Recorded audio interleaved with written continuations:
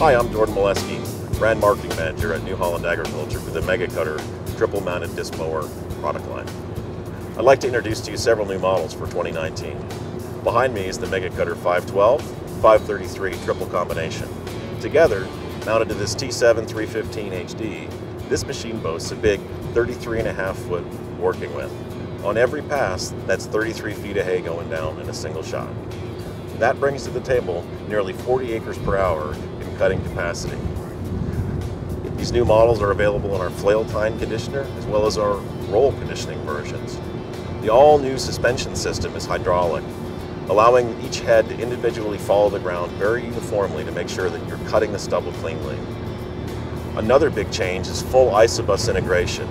The Mega Cutter 533 connects directly to the CCLS system on the tractor and connects via the isobus port, and all machine functions are controlled through the IntelliView display.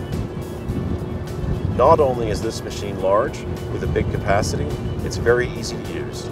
Take advantage of several technology features that we offer at New Holland, including the IntelliTurn feature and the automated headland turn sequence function. To get the greatest capacity out of your mower, to lay down the acres per hour that you need to make your high capacity dreams come true.